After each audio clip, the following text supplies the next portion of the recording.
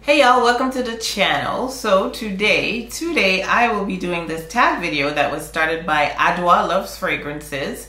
I was tagged by her, I was tagged by Naturally Liz, and this tag is all about the fragrances that started, that was that aha moment for you for that fragrance house, the one that started the deep dive into the house. So if you're interested in mine, please keep watching.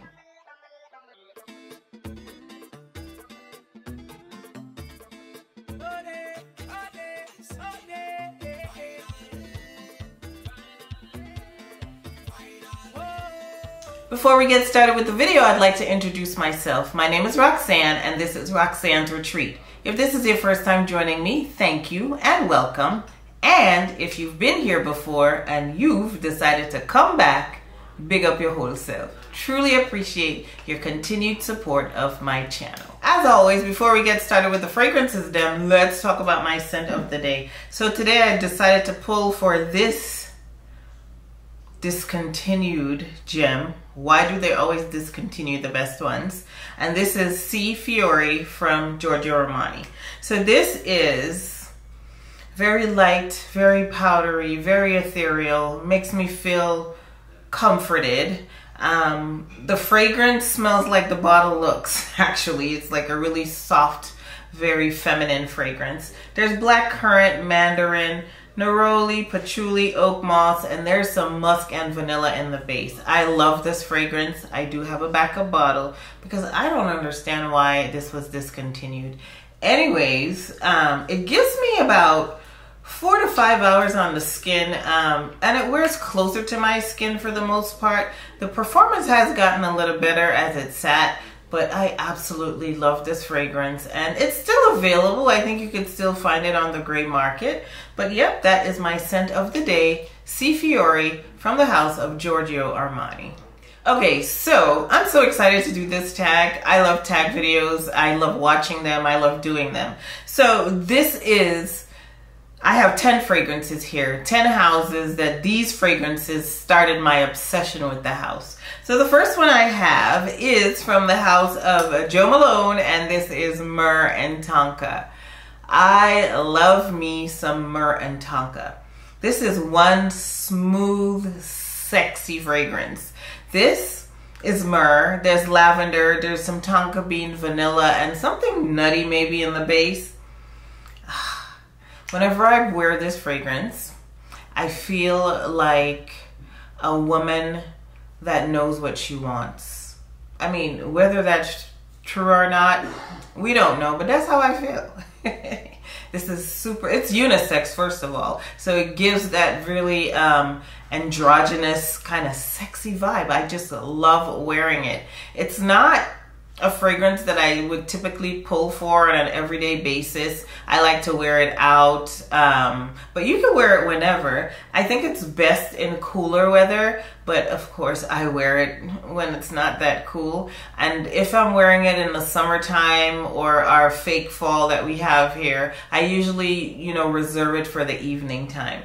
But I love this fragrance. It is resinous. It is so well blended gives me some good time on my skin, about six to seven hours. And I would say it's moderately projecting. And I leave a very, very alluring sillage. So yep, this is the one that started my Jo Malone um, exploration, Myrrh and Tonka. And I absolutely love it. Next up, we have this one right here from the House of Penhaligon's, and this is Changing Constance. I don't speak about this fragrance enough. This fragrance is a banger. I don't like the bottles. I don't like the whole portrait collection bottles. They're a little creepy to me. I have to say that first, truth be told. But this fragrance is something else. Now it feels really weird taking off the head of the goat and then, I mean, it just doesn't seem right. but anyways, Changing Constance. This one opens like it opens a little spicy, but not not like overly spicy. It, it has a little kick to it in the opening. I think there's some pimento and something else, but that middle note, that caramel note, that when I just got the fragrance, I really couldn't get the caramel. I was more so comparing it along the lines as um, Safanad and Love Don't Be Shy, kind of like more of an orange blossom vibe. Although I don't think there's any orange blossom or neroli in here. But that's the vibe I was getting like in the first couple months when I owned this fragrance. Now, as it's been sitting there at least a year, that car I want to call this a caramel fragrance. It is so delicious. And there's a little bit of salt in here, so it's a salty caramel. Mm-hmm. If you have not smelled Changing Constance from Penhaligon, I don't know what you're doing. Please get your nose on it. Nowadays, I'm seeing um, the Penhaligons range more often. Like I saw it at Bloomingdale's in Orlando, and then I saw it at um, Neiman Marcus here in Tampa Bay. So before, they weren't really accessible. Like you could only get it online, but now you could actually go into store, you know, if you live in this area and smell them.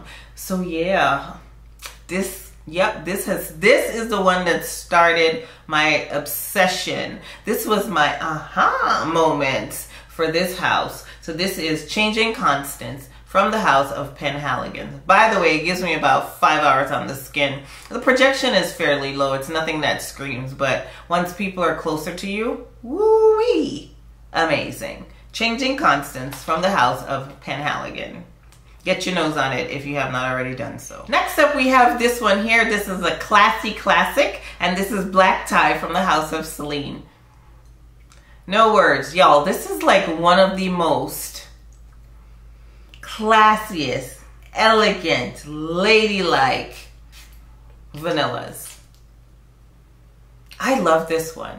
People don't talk about it as much. People don't believe that it's worth the hype because it's not a loud fragrance. This is a vanilla in my estimation that you can wear all the time because I do. I wear this in the heat. Just I spray a little lighter. But even if you overspray this fragrance, you're not going to choke yourself out. Most of the Celine fragrances are so light and airy and elegant. Oh my gosh this is so beautiful. So there's vanilla in here and there's some orris root. It's just powdery, feminine, a little bit of musk, and then there's some woody nuances. Black tie from the House of Celine. If you have, and I know this is a hard one to get your hands on unless you live in a big city where they actually have a Celine boutique. Um, they don't have a Celine boutique near me. And this was a blind buy whenever I did get it. But yeah, this is such a gorgeous fragrance. Um, and because of you, Black Tie, I'm all up in the house of Celine trying to discover new loves. I did discover Zouzou, if that's the way you say it. That's another beautiful one. And there are a few more on my wish list, um, a few more that I want to get my nose on. But yeah, Black Tie, definitely the name suits the fragrance. it's really like upscale, classy. That's the vibe it gives me when I wear it. Um, not a fragrance that is a beast. Like I said before, it's very light and airy, light wearing vanilla.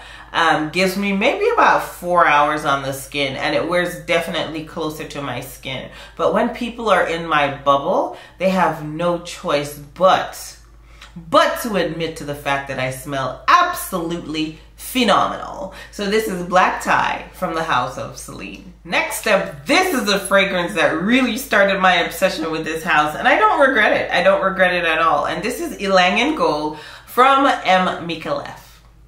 Yo, you already know, like, I love this fragrance. This is another fragrance that I consider to be very classy, very elegant. So this is yellow florals. This is vanilla, coconut, just like a really, mmm, I keep saying the word gorgeous. I need different words. Gorgeous, beautiful. It's just stunning. Let's say stunning. Very stunning tropical fragrance. Um, I love wearing it. I just love wearing it. I have to restrain myself from wearing this fragrance. It is so so so easy to wear so easy to wear so easy to pull off and it's a compliment getter um, like i said there's the ylang ylang there's vanilla there's sandalwood coconut some citruses everything in here making it feel like a tropical dream making you feel like you're on a tropical vacation even if you're just walking around the house so when i first tried this fragrance i was like Micallef, what a go on over there. I love it. Whatever you're doing, me like it, me love it.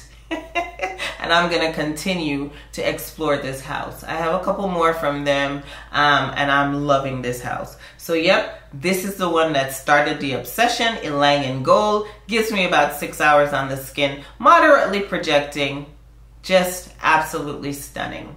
And Micallef's Ylang in Gold. Okay, this one here will come as a surprise because I started with this fragrance as opposed to one of the most, you know, well-known fragrances in this house. And the house I speak of is a house of kerosene, but I started my obsession with kerosene with one of their um, drops from this year, Promises, Promises. I then, I, you know, got Unknown Pleasures, Found in Light, but this is the one that started the obsession, believe it or not. This fragrance right here, Promises, Promises, first of all, people haven't been talking about it, but it is definitely worth getting your nose on. This is an ambery, very sexy, deep vanilla. That is the best way I can describe this fragrance. It is so good. And as it's sat, woo, it's gotten better. That vanilla is coming out, so it's sweetened up the fragrance some more than, oh gosh, yeah. Mm-hmm. So it's amber, vanilla, and musk. That's it. That's all that's listed. Very um, simple composition, and it wears so nice on the skin. It's so sexy to me. So sexy. Yes, kerosene, you did not break the promise. The promises were kept. And because of this fragrance, I decided to go down the kerosene rabbit hole. And I have been loving it. So, promises, promises, promises, promises gives me right now. In the beginning, it gave me like about four four hours on the skin. Now it's sat for a couple months. The performance has gotten better. The fragrance has gotten sweeter too. Oh gosh, y'all get your nose on it. All right, get your nose on it, and when you get it, don't judge it right then and there. Let it sit for a little bit. I know not everybody has that kind of patience, but I do. And this one, banger, banger, banger, banger. So yeah, promises, promises, not unknown pleasures is what started my obsession with the House of Kerosene. Next up, it's another fragrance that um, started my obsession, but it's still not the most popular fragrance of the house. And I speak of Kilian. And the one that brought me down the Kilian rabbit hole is not Love Don't Be Shy. It is Woman in Gold. Woman in Gold, in my estimation, is amazing. Listen, whenever I smell this, I want to just burst out spontaneously and you light up my life. yes, because that's how this fragrance makes me feel. It's very uplifting to me but it's a very luxurious smelling, very feminine fragrance. There's the opening has bergamot, mandarin orange, and aldehydes. There's vanilla in the middle and in the base. There's some woody notes, akigalawood, tonka bean, patchouli, and musk. I don't get the patchouli, but I know the patchouli helps the fragrance to last longer and it cuts through any kind of anything that's any overly sweet. Woman in Gold. This is definitely very classy, very easy to wear. It's an easy reach for me. I wear this to work. I wear this anytime, any place. And it just makes me feel very sophisticated, very womanly, you know. Is that even a word? But yeah, Woman in Gold from Kilian. And I feel like you could wear this all year round. Um, not in the dead of winter, but it's light enough to wear in the summertime and in the springtime and like now in the fall time it definitely can transition. Because this girl she doesn't play. She gets me about seven hours on the skin. I do overspray but mm, i love it. I just it just whew, does something to my senses. Yep. Woman in gold from the house of Kilian. This was my Kilian aha moment. Aha, you are amazing. this fragrance right here, this is what started my Sphinx obsession, and this is Cairo Nights. Cairo Nights from the House of Sphinx. Whenever I spray this, I think, or you should think, if you want a comparison, Althaïr from PDM just a lot less expensive. This one is less smoky because Althaïr has like a kind of smoky nuance there. This one doesn't have that. This one has more of a, a sweet dry down as opposed to a smoky dry down. So it opens with some herbal notes, lemon, bergamot, lily of the valley, patchouli, jasmine. There is tonka bean, vanilla, and caramel in the base. There is like a sweet triple threat in the base of this fragrance and I am absolutely here for it. Love this one. Love this one. So when I tried this one and people don't I can't say that I heard anybody on YouTube speak about this fragrance. I saw like Instagram ads about the House of Sphinx. I had really no clue. And then I said, let me try Cairo Nights because they're all under $150 and they always have a sale. So this was the one I tried first and I was like, boom! now I'm definitely exploring the house. I have one, two, three, yeah, I think I have three more from Sphinx and I am absolutely, absolutely enamored. Okay, the price is right and the fragrances are beautiful. Cairo Nights gives me about six hours on the skin. Just like this really interesting, um, fruity floral fragrance with a nice, sexy vanilla base. So it smells like Althaïr, but when I say that, it does. I don't describe it the way I describe Althaïr. But anyways, it smells very similar to that. If you have Althaïr, do you need this one? Need is a strong word. Y'all already know I say that. We only need food and water and shelter. But um, try this one if you haven't already. They have a discovery set because they have some nice fragrances in that house. And like I said, they're all under $150 and they're always running some kind of promotion. Um, Cairo Nights, I it comes highly recommended by me. I love it. And this is, this one right here is what started my obsession with the House of Sphinx. Who started, which fragrance started my obsession, my aha moment? Which was it for the House of Bond number nine, New York? New York Nights. She is the culprit. She is the one that started the deep dive, the deep dive of me getting into this rabbit hole. New York Nights. Y'all, if you haven't smelled this, this is caramel.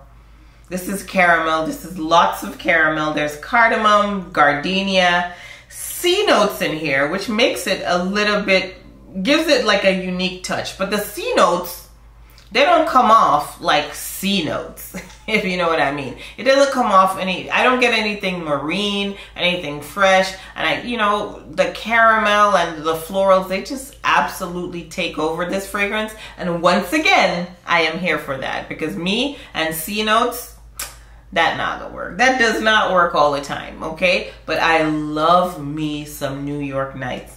This fragrance is the one that started my Bond number nine obsession. And I have not looked back since, okay?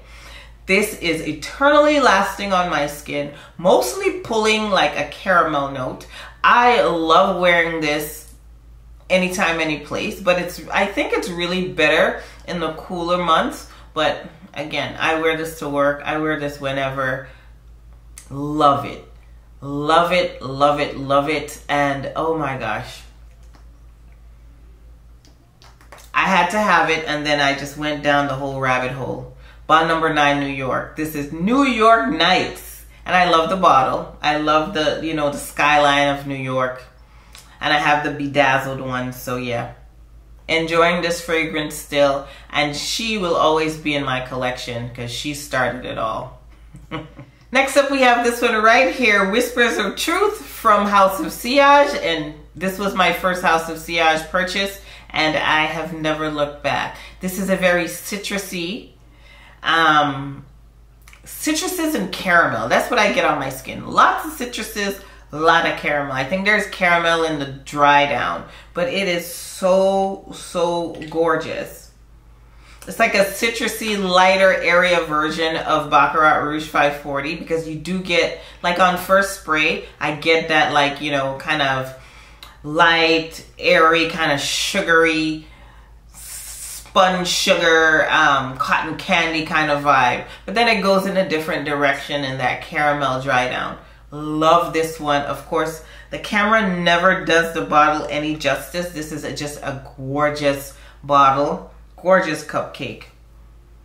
There's oak moss in here, or moss, rose, jasmine, musk. Absolutely delightful. I love this fragrance and this is what started my love affair. This was my aha moment. Started my love affair with the House of Sillage. Whispers of Truth give Whispers of Truth. Slow down. Gives me about four, five hours on the skin. It projects, I get compliments, and I leave definitely leave a nice sillage. This could fill up the room depending on how much you spray. But yep, Whispers of Truth started the whole cupcake love affair. Last but certainly not least is this one right here, and this is Cavort from the House of Fragrance Du Bois. This is the one that started it. This was the starter. This was the starter of the obsession. This is a very sexy, sexy saffron fragrance in my estimation. There's cinnamon, rose, ylang ylang, orange blossom, sandalwood, all of those things. But what comes out on my skin, what dances on the skin, what makes me feel absolutely amazing is this fragrance to me is very saffrony. Not saffron like BR540, it's just a different one. Different type of saffron. This one is deeper. This one is sexier. Hence, I love wearing this fragrance on date night. This is date night approved. Very upscale, very... Mm, polished, very sophisticated smelling fragrance on my skin at least. I enjoy wearing it. It's super expensive, I know, but you know, wait, get it on sale if you can. It's, you know, nobody's saying that you have to have it, but you have to have it. it's definitely um if you're if you're into saffron, if you like fragrances that make you feel that way, Try Cavort from Fragrance Du Bois. It lasts a long time on the skin. Usually, like I say, I wear it on date night. I don't need it to last that long because it's usually, you know, two, three hours. You come home, you shower, whatever. But um, it lasts a good bit on my skin. I want to say um, I've given this like a full day wear and it's lasted about seven hours on the skin all things considered. So yeah, Cavort from the House of Fragrance Du Bois. Definitely, definitely a banger. Definitely what started me to explore, to want to explore this house. And that I have done. Okay, y'all, so that brings us to the end of the video. Please, please let me know in the comments which fragrances started your love affair with these houses? What was your aha moment? Thank you so much for Adwoa Loves Fragrances for tagging me and Liz. I'm gonna, you know, tag some other people and put her um, channel down there. If you have not seen her, go ahead and check her out. And if you want to do the tag, you're a perfume girly, you're a beauty girly, people in the comments, you don't even have to have a channel. Let us know. We want to know. We want to know what started your love affair with a certain house. What was your aha moment? We really want to know. And like I always say, we could be anything in this world we want to be with a lot of hard work, dedication, and perseverance. But while we're getting there, and even if we are, we're going to do what? We're going to smell like good people. We're going to smell fabulous at all times. Please like, please comment, please subscribe. See you in the next one. Bye bye.